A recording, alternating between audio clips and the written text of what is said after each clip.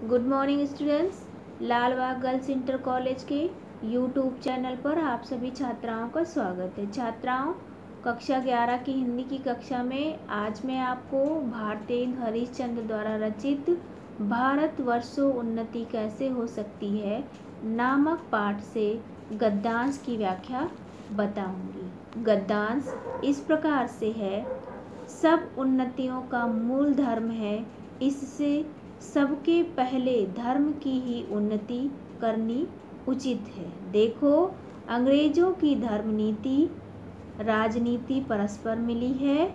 इससे उनकी दिन दिन कैसी उन्नति है, उनको जाने दो। अपने ही यहाँ देखो, तुम्हारे यहाँ धर्म की आड़ में नाना प्रकार की नीति, समाज, गठन, वैदक आदि भरे हुए बच्चों, गद्यांश की व्याख्या इस प्रकार से है। भारतीय हरेश चंद्र जी कहते हैं कि यदि हमें अपने देश में किसी भी प्रकार की उन्नति करना है तो हमारे समस्त कार्य धर्म के अनुसार होने चाहिए। इसके लिए सर्वप्रथम धर्म की उन्नति ही करनी होगी। यहाँ धर्म का आशय उस आचरण से है जो समाज और राष्ट्र के कल्याण को ध्यान में रखकर किया जाए।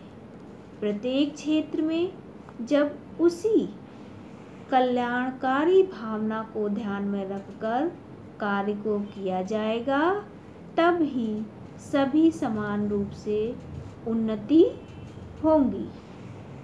भारतेंद्र जी अंग्रेज़ों की धर्म नीति का उदाहरण देकर कहते हैं कि अंग्रेज़ों की धर्म नीति और राजनीति परस्पर मिली है।